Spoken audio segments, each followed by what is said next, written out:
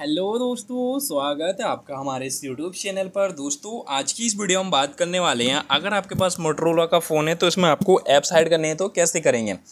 इसी वीडियो में आपको बताएँगे, अगर आपके पास मोटरोला के जी सीरीज़ का फ़ोन है तो जिसमें आपको ऐप्स हाइड करने हैं तो कैसे करेंगे? इसमें आपको ऐप्स हाइड का ऑप्शन देखने के लिए नहीं मिलता है।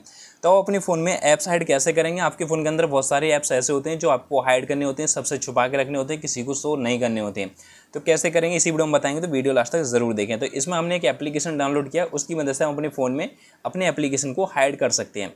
और एप्लीकेशन आपको प्ले स्टोर पर देखने के लिए मिल जाएगा, वहाँ से आप इसे डाउनलोड कर लेंगे। तो एप्लीकेशन हमने डाउनलोड कर लिया एप्लीकेशन का नाम है यू लॉन्चर लाइट जो कि आपको प्ले स्टोर पर भी मिल जाएगा।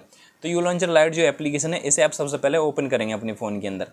इस प्रकार से देख सकते हैं, इस पर हम टैप कर देंगे सबसे पहले। जब इसे ओपन करेंगे तो इस प्रकार का इंटरफेस मिल जाता है, इसे हम करेंगे एग्री। एग्री करने के बाद स्टार्ट का ऑप्शन आ जाता है, स्टार्ट पर क्लिक करेंगे और यहाँ आपको इसका नाम देख सकते हैं। स्टार्ट पर क्लिक कर दिया हमने। स्टार्ट पर आने के बाद आपके फ़ोन के अंदर इस प्रकार का इंटरफेस ओपन हो जाता है। अब आपको अपने एप्लीकेशन हाइड करने के लिए जो आपकी होम स्क्रीन डिस्प्ले इस पर टू फिंगर से पिंच इन कर लेना है इस प्रकार से। पिंच इन करने के बाद आपके सामने इस प्रकार से मिल जाता है। इस पर आप पिंच आउट करेंगे टू फिंगर से। जब पिंच आउट करने के बाद आपकी इस प्रकार से ओपन हो जाती है हाइड ऐप्स सेटिंग में जाएँगे। सेटिंग में जाने के बाद इसका आप एक पासवर्ड सेट करेंगे कोई भी। इसे आप दोबारा से एक पासवर्ड को कंफर्म कर देंगे। कंफर्म करने के बाद आपको मिल जाते हैं hide apps add private apps इस पर जाएँगे। अब यहाँ से आप उन एप्लीकेशन को सेलेक्ट करेंगे जो आपको हाइड करने होते हैं। तो जैसे हम यहाँ से फेसबुक है और एक यहाँ से क्रोम ब्राउज़र है। ये दो एप्लीकेशन ले लिए हैं जो कि हमने यहाँ से कर दिए हैं हाइड। अब हाइड वाले एप्लीकेशन आपको यहाँ देखने के लिए मिल जाते हैं। तो जो एप्लीकेशन आपने हाइड किए हैं, वो आपको अब यहाँ देखने के लिए नहीं मिलेंगे। इस प्रकार से देख सकते हैं।